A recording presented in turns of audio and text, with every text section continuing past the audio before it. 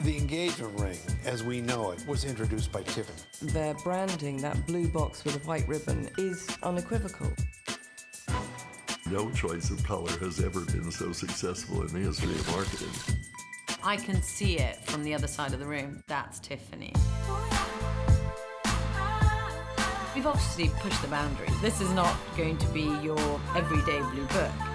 We did a lot of wreaths in the past, but the beauty about this piece is that they're pear-shaped diamonds going in one direction. Especially when people will come to Blue Book and they will see some of the pieces that she wore at the Oscars. The one celebrity who will always be associated with the brand is Audrey Hepburn. She makes the perfect Demi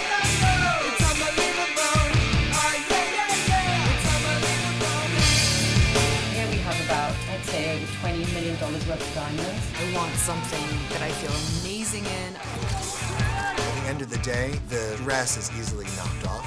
The jewelry is priceless, and people know that jeweler. There are a few American retail outlets that are true institutions. Tiffany's, 7-Eleven.